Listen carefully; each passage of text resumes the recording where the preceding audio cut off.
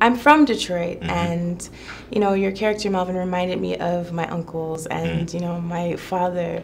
But the difference was he had the perspective of being the security guard and a young black man. Yes. Um, tell me a little bit about that internal struggle that he must have felt. Once I read the script, I understood that it's a very complicated um, situation that he was in.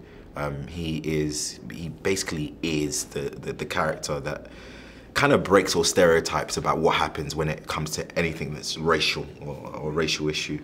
Uh, he was trying to bridge the gap between the two, trying to, you know, be the, the, the image of authority by, you know, he thought to himself that being in this motel and standing with these these young black men would give them a chance if they saw a, a person, a black person of authority, and that that in itself kind of the tables turned and that, that kind of was thrown back in his face. And it was complicated for me, but I just understood that, that this is a, this was a situation in its in its fact, and also that Melvin is an introvert. He's um, a lot of what he feels is inside, um, and, and a lot of what he feels he can't figure out, and that's something that I, I was given the opportunity to explore and discover.